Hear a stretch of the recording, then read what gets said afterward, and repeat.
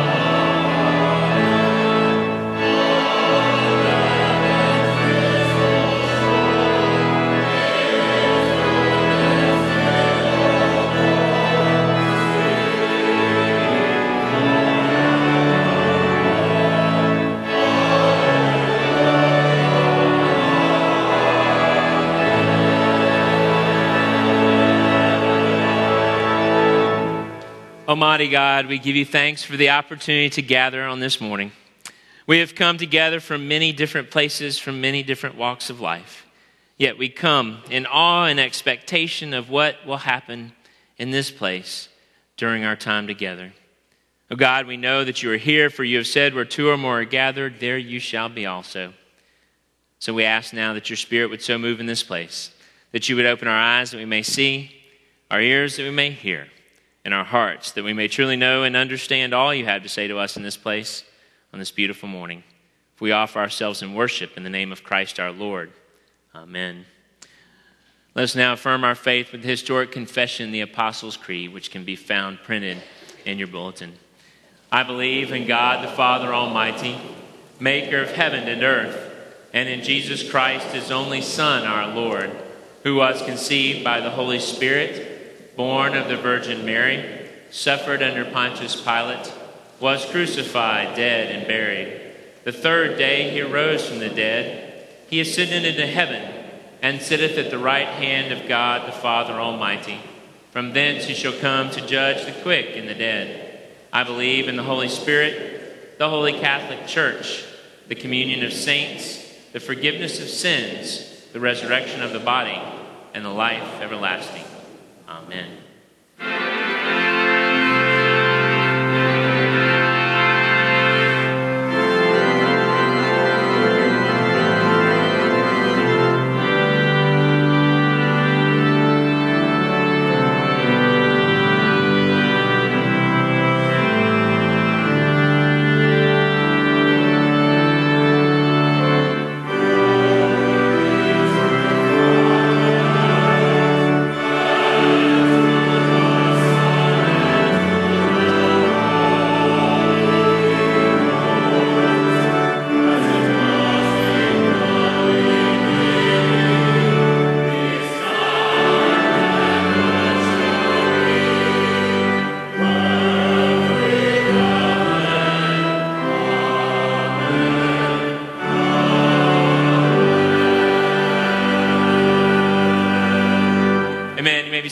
Children with you this morning, I hope you let them come spend a few minutes with me.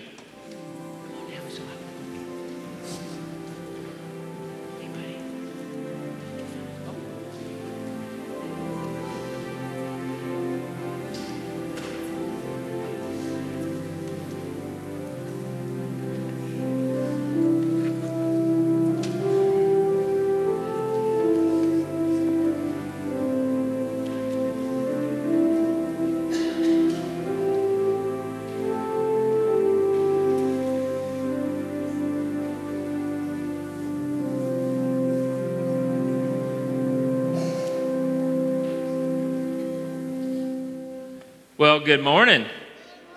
That's pretty awesome. I'm glad to see some, some of my friends I hadn't seen in a while. So glad to see you. So glad to always see each of you. So, what holiday is next week?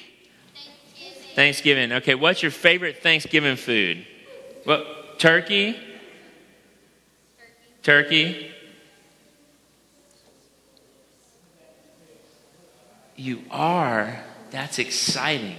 That is fantastic. What are some other that's going to be fun. What are some other favorite Thanksgiving foods? Your grandmother's mashed potatoes. So we've had turkey, mashed potatoes. Anybody broccoli? Brussels sprouts? Brussels sprouts? Yeah. See, I'm not a big turkey guy. I'm a ham guy. I love ham. And my mom's, um, my mom's cornbread dressing you know, whether you're from the south or north, where you call it dressing or stuffing and what goes in it and how it's made. If you made one of those turduckens, yes. our friend from Louisiana, there's turduckens. Ooh. So Thanksgiving's a time when we have good food and we enjoy that and we sit around the table. How many of you still have to sit at the kids' table? At the Thanksgiving at your family? No? Y'all are all at the adult table now? A few kids' table?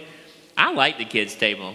Desserts are better. You're with your cousins. You at the kids' table with your cousins.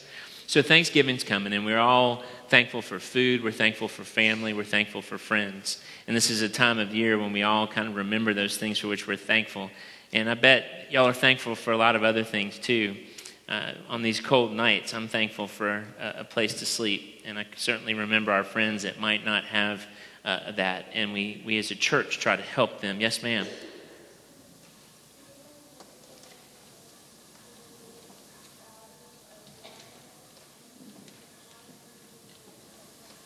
That's awfully sweet, Julia. So when they see someone who needs a bottle of water on the streets, they've got bottles of water in their car to hand out. And there's so many little ways we can help. And the first way is acknowledging what God's done for us and then finding a way to share what God's done with, for us with other people. And I know y'all already do that so many ways. Um, is Miss Faith here this morning? She's not. Faith had told me some of you weren't here last week when we told that, that our backpacks that we all collected, Miss Connie let us in and helped, and Miss Faith talked about how wonderful the teach, how how excited the teachers were to receive those gifts and what a difference it made because they get a lot of stuff in the summer, but they don't get a lot of stuff further along. And so, thank y'all for all you did for that. Will you bow your heads and you pray after me this morning? Repeat after me, dear God, thank you for our many blessings.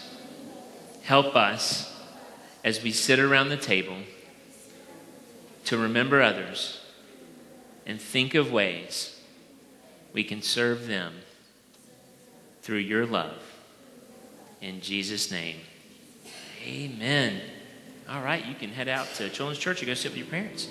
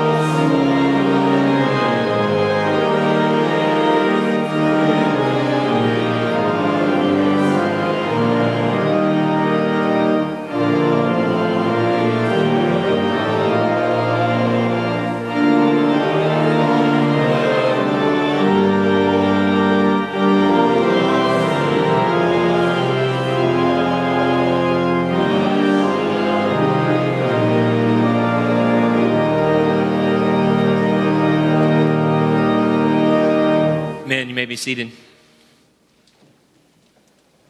As we come to our time of prayer this morning, I invite you to find the prayer request list that's located on the back of your bulletin and uh, keep all of those folks in your prayers this morning. Um, and also want to uh, remind you that if there are other prayer concerns or celebrations you'd like to share with us, that there are some prayer request cards located in the pew backs in front of you. you certainly fill that out, placing an offering plate, or uh, hand it to me following the service so that we might be praying for you and with you. Will you, go with, will you join with me now as we go to God in prayer?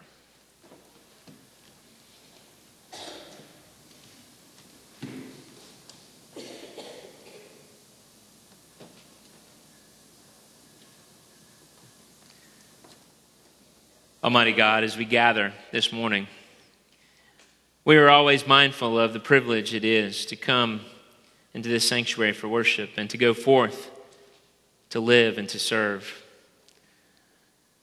As temperatures plummet, oh God, we this week and, and in the week to come, we're particularly mindful of those who have no permanent roof over their head. We pray for those who seek shelter in difficult times, and we pray that you would continue to be with us as we seek to support and share resources with ministries that provide that much needed help in difficult times. Continue to encourage us in reaching out and lifting up those in need. God, we are mindful of our world this morning. We're mindful of war that rages and disease that ravages. We're also mindful that you call for a true and lasting peace, a peace that begins with each of us loving our neighbor as ourselves, being able to reach across those things which divide us and find ways to be united in love and grace and generosity. God, as we approach this Thanksgiving season, we certainly are mindful of all the many things that you've done for us. We're mindful of the many blessings we enjoy. We give thanks for all that you have created in this place we call Atlanta First United Methodist Church.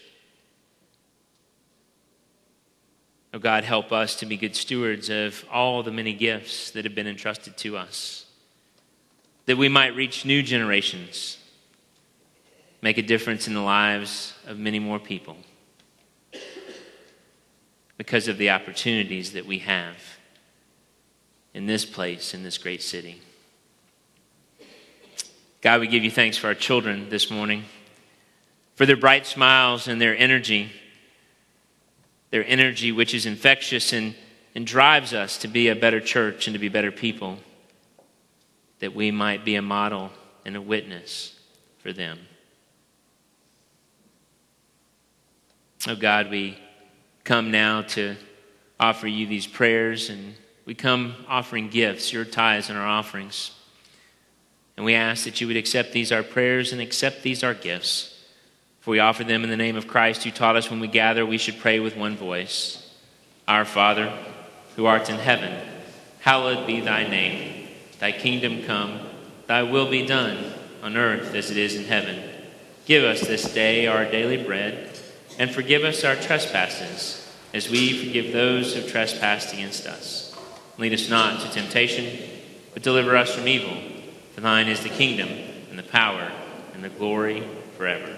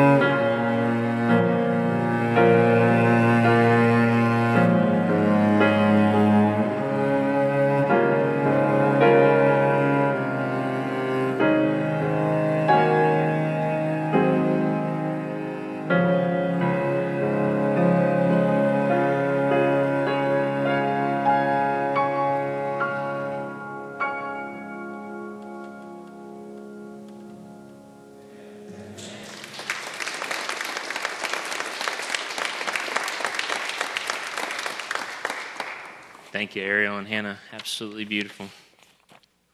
Our gospel lesson this morning comes from Matthew's gospel, the 25th chapter, beginning in the 14th verse. Matthew 25, 14. Out of respect for the reading and hearing of God's word, I invite you to stand as you're able.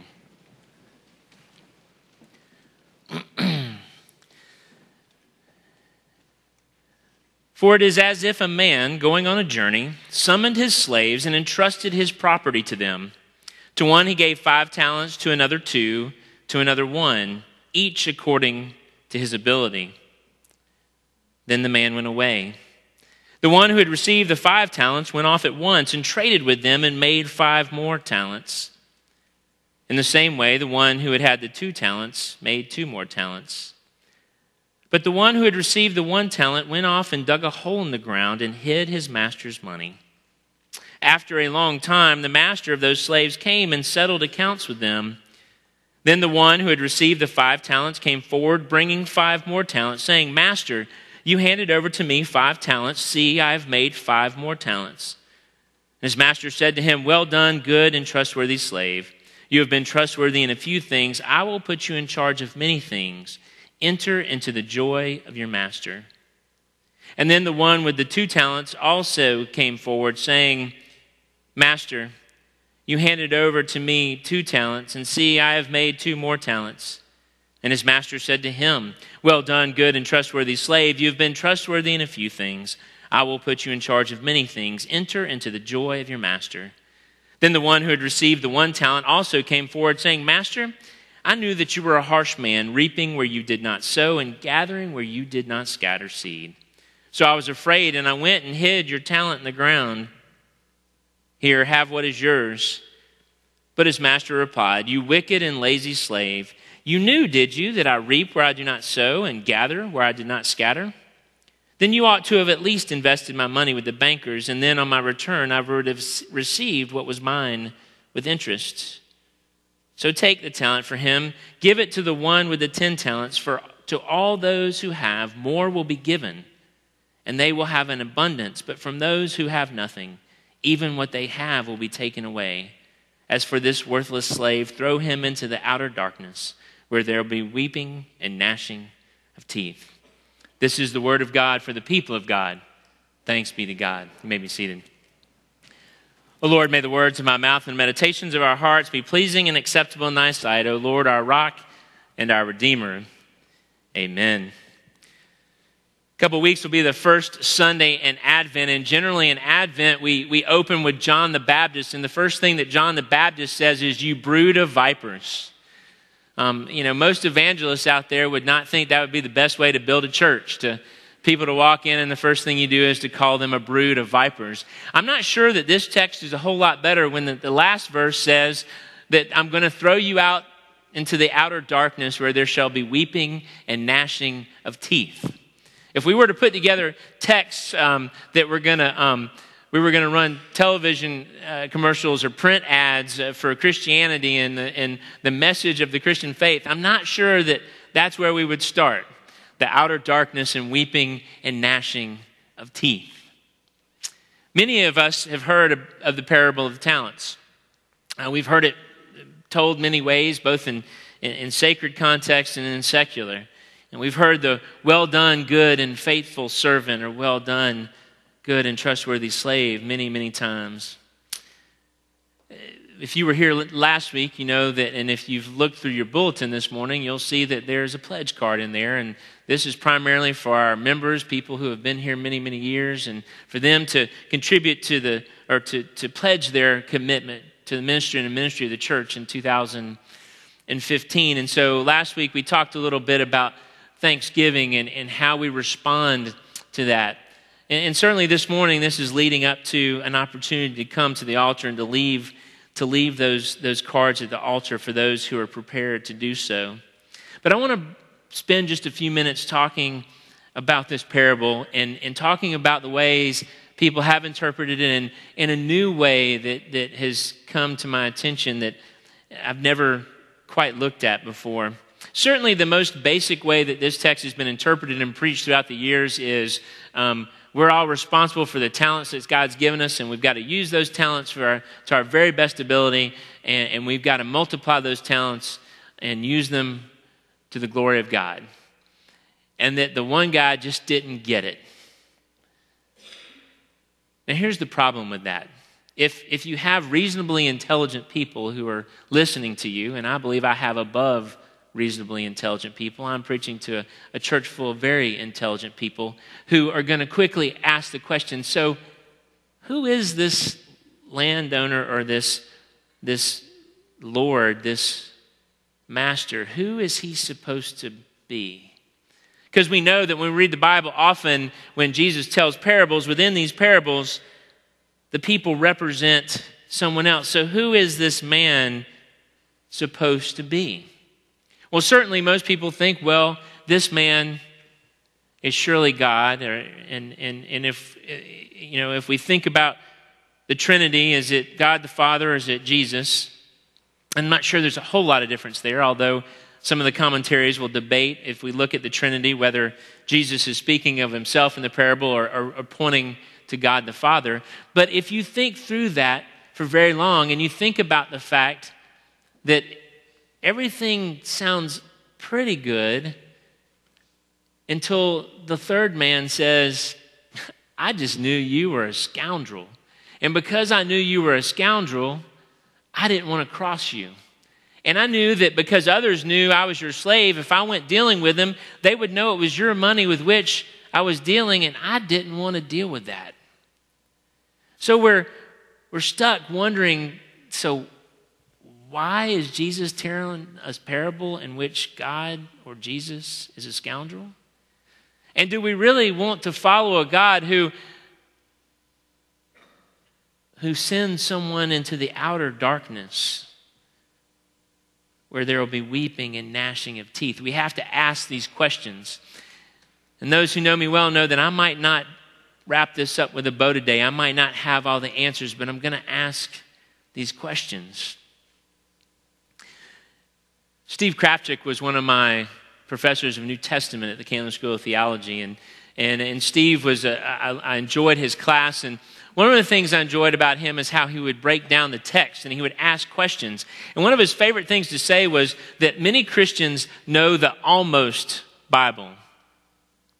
We've heard the stories so frequently that we hear them and we make assumptions about the text that may or may not be there. For example, again, you can tell this morning that my, my head and heart has already been in Christmas. How many wise men were there? I'm hearing three. It was well, we don't know. There were three gifts, but if you go back tonight, if you're like me and you can't wait to dig into the Christmas story, if you go read the story, it says they bore gifts of gold and frankincense and myrrh, but it never identifies how many of them there were. There were a caravan of people traveling, and we've made this assumption that there were three. There's other places in the Bible, the, the rich young ruler, it never tells us how old the ruler is. It just says that he's rich, but we assume that he's young. So let's look at the parable of the talents this morning. We've always assumed that this, this man was, this master was evil and and unscrupulous. But let's read carefully what the text says. It was the third slave who said, I knew that you were a harsh man, reaping where you did not sow and gathering where you did not scatter seed. And if every English translation you look at, what the master does is ask a question back to him. So you knew that I was a harsh man and that that I, I, I gathered where I had not sown and that I, I reaped where I had not harvested? He asked the question back to the person. This, this picture of this man is not confirmed by the other two slaves, nor is it confirmed by the person in the story. He simply asks the question back. So you knew this. If you if you knew this, then why did you behave in this way? So it begs the question if, if we are to believe that in Matthew's gospel, as Jesus tells this parable, that that the master, the man, was to represent God. And we're, we're so quick to kind of place these attributes from the third slave on this man. The question becomes what is our image of God? What image of God do we have in our heads and our hearts? And it's, it's centered, it's, it's central to who we are as Christians. You know, there, there's, there's a whole segment of our population that, that might see God as this condemning God, this manipulative God, this God who acts harshly against people who don't behave in a certain way. If one has that worldview of God, then, then that's got to be a very difficult relationship to have with God. We've also debunked the, the flip side of that in, in recent weeks when we've talked a little bit about the prosperity gospel and that, that some have the worldview of God. If they, if they give enough, then God is going to is going to bestow upon them lavishly all these wonderful, wonderful gifts. That somehow God is a vending machine and we pray for something and it comes out the bottom. Fact of the matter is that, that, that, that each of us have an image of God. I've, I've told the story many times in my preaching, and at least on several occasions uh, to this congregation, that one of my mentors in the faith was my great aunt Laura Francis Phillips, whom we called Tansy. And I remember, like it was yesterday, standing by the glass louvered door in the den at her house, asking her what God was and, and, and who God was. And Tansy said, Well, God is a being, B E I N G. But the little four or five year old boy heard bean. And I didn't know if he was a lima bean or a green bean or what kind of bean he was. So I carried this image around for too many years of God as a bean. Each of us have our own images of God, who God is what God means in our lives. And, and, and as Christians, the, the world gets its image of God from the way that we behave. I think it was Gandhi who once said, I like your Christ, but I don't necessarily like your Christians. How is it that we see God? What, what kind of image of God do we carry? We need to know a couple of things about this as well that, that, that, a, that a, a talent is a lot. A, a, talent was a lot. You know, sometimes we've, we've talked in one of my other favorite parables of the workers in the vineyard and where they're given a, a, a coin that's a day's wage. That was not a lot barely enough to kind of go home and try to scrape together some things for your family. But a talent is a lot. One of the common commentaries said a super abundance. Not just an abundance, but a super abundance. And, and each of these individuals are given talents relative to their ability to take care of those talents. The fact of the matter is, we we each have gifts and abilities. And, and some of us are better at some things than others. We've talked a lot about that. And uh, some of you are artists, and clearly we have incredible talent among us of those who can sing and, and play instruments. Some of you are accountants and lawyers and doctors.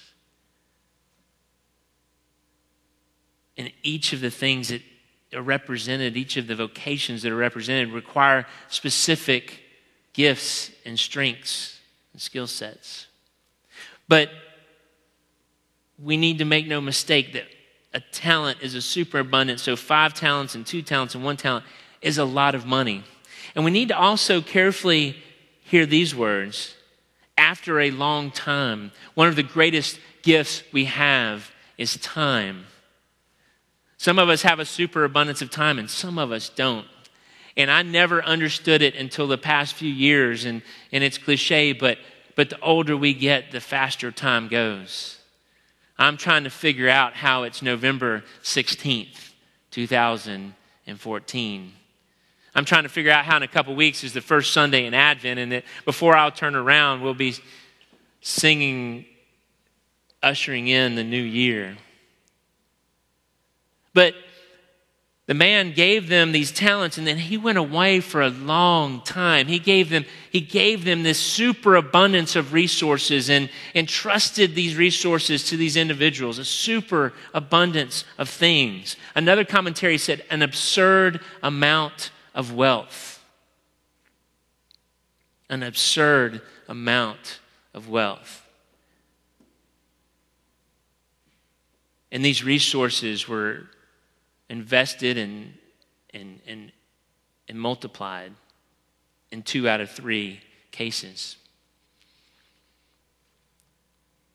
What does this all have to say to us at Atlanta First?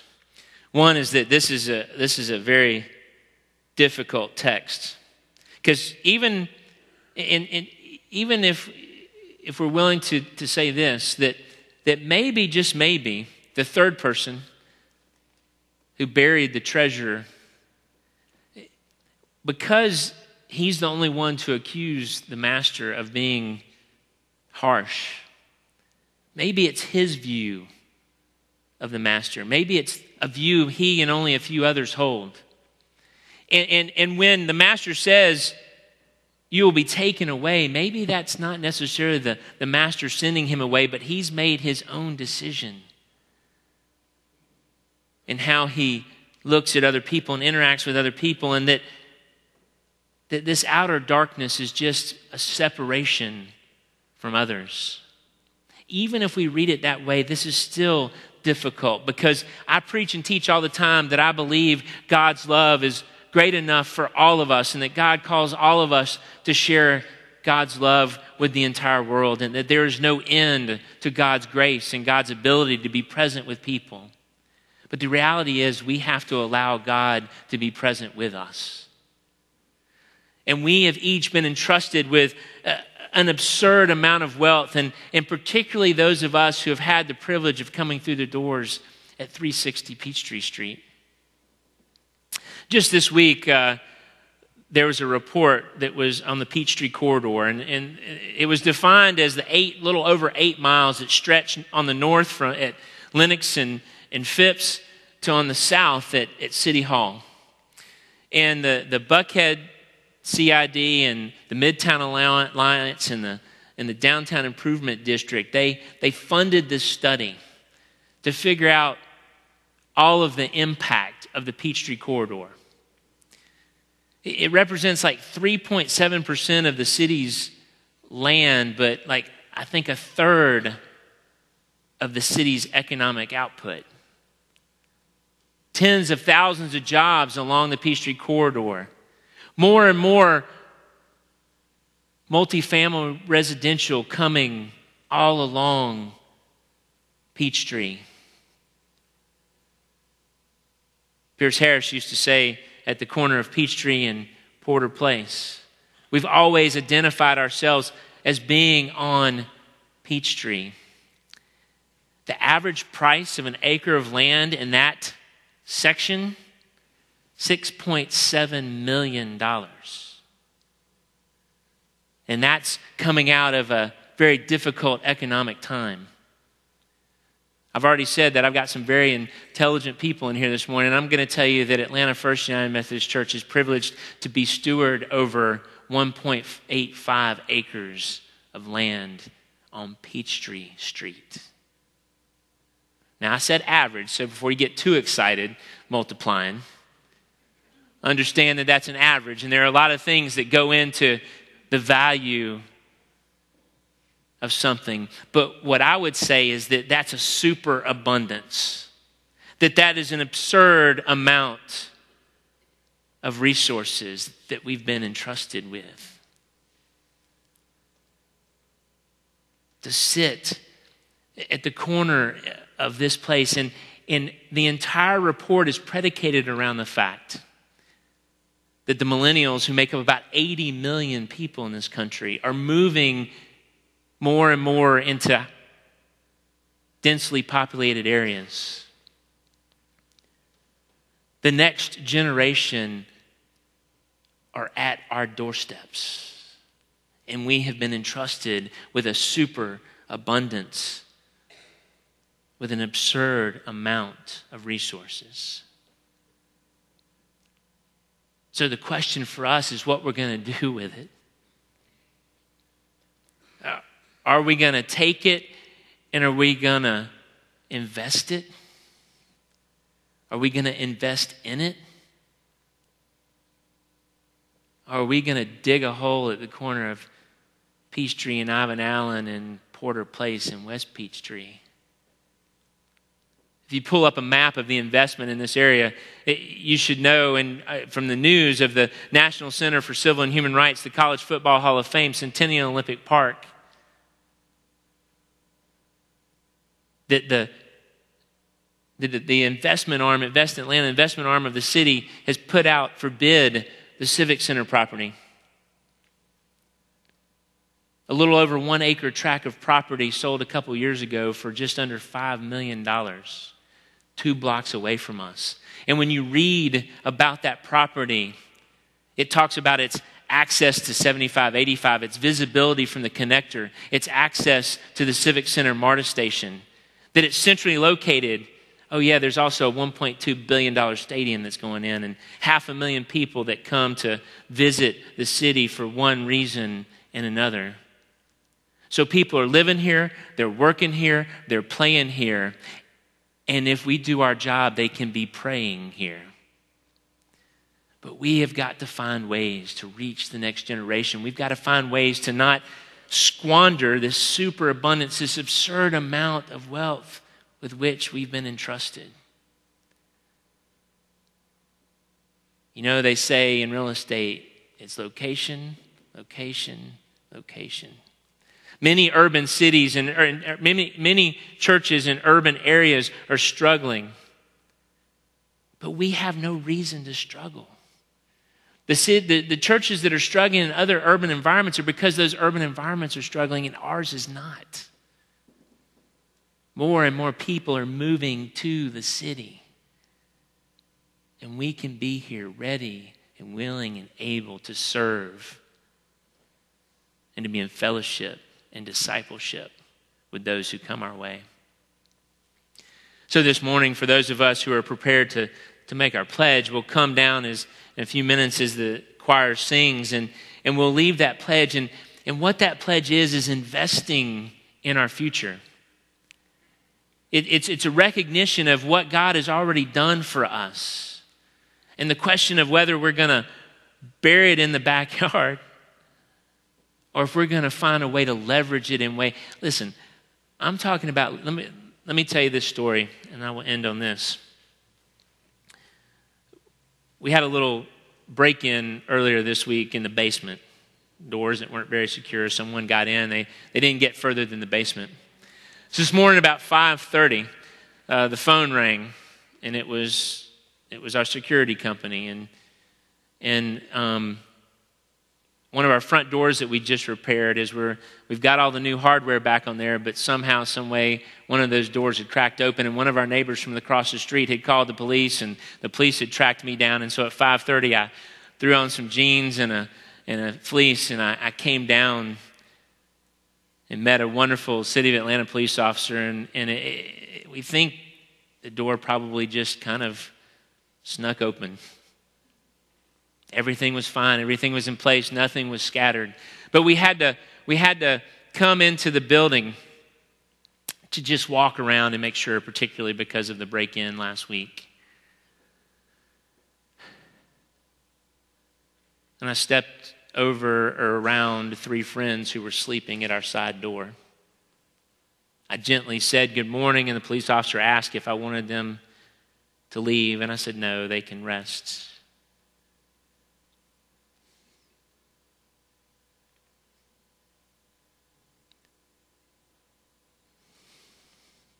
It was one of those moments when I realized exactly what God had called me to and when He called me to be a pastor at Atlanta First. And it was a moment when I realized exactly what God has called us to when God called us to this place.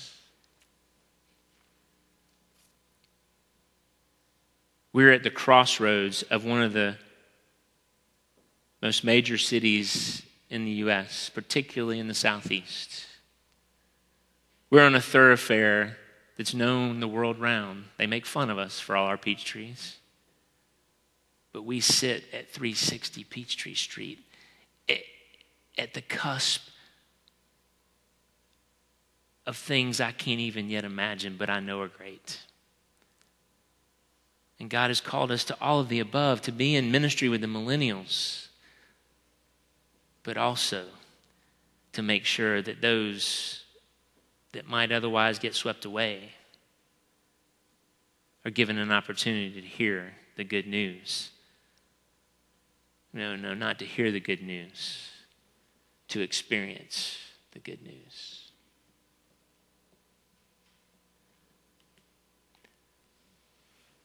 What are we going to do with the absurd amount of wealth with which we've been entrusted? In the name of the Father, and of the Son, and of the Holy Spirit. Amen.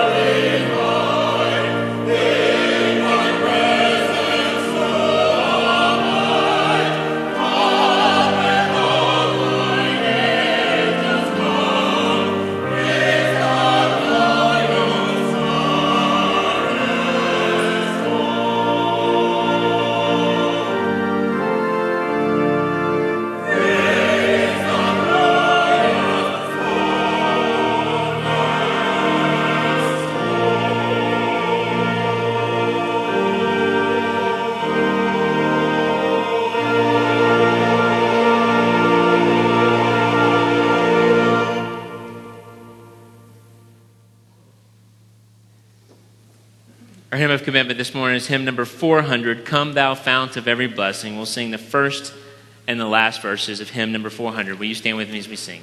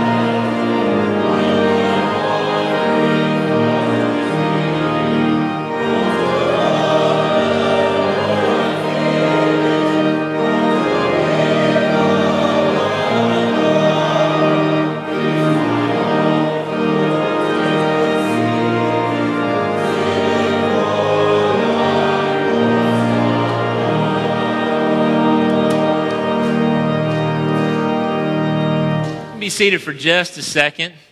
Our organ's ciphering this morning. It's always exciting where Ariel's trying to get it to cut off. Nice little rumble and the, the, the change in temperature. Sometimes our organ doesn't like that. So, very excited this morning to, to welcome two folks in the membership at Atlanta First. Many of you know these folks very well uh, Jill Brown and Jeannie Spencer. Jill has been a member here before and currently is a member at Hartwell United Methodist Church and she's coming to be an affiliate member of Atlanta First. And so um, they split time between here and the lake, and um, not a bad way to go, I don't think, um, quite frankly. And so we're welcoming Jill um, as an affiliate member. And then Jeannie, y'all know, is our interim director of the day school. She's been a part of the day school team since day one, and um, her membership is currently at uh, North Avenue Presbyterian, and so we're not going to have to go f- too far to transfer that down the street. And um, but we, we welcome you both. You've both served in so many ways and have, and I know will continue to do so. But this morning, as you come to affiliate and to become a member of Atlanta First United Methodist Church, I simply ask you do you promise to support our Lord and this His church with your prayers, presence, your gifts, your service, and your witness? Will you? Well, welcome as the newest members of Atlanta First United Methodist Church.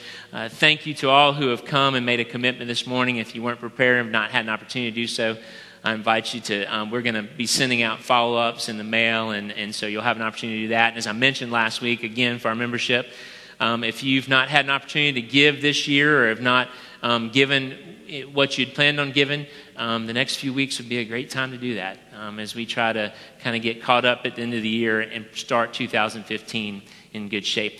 Why don't y'all stand with me now as we hear the, receive the benediction? Jill and Jeannie will stay with me, and I want you to come and greet them in just a moment.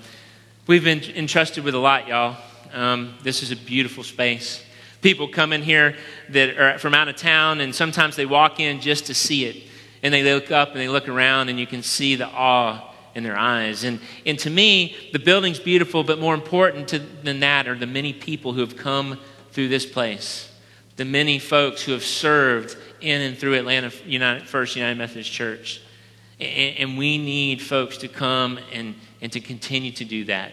Not so that we can hold up a building or not that we can sustain ourselves, but so that we can continue to share with the world the good news that God came and died and rose again that we might have life and have it abundantly. So go forth in peace this morning in the name of the Father and the Son and the Holy Spirit.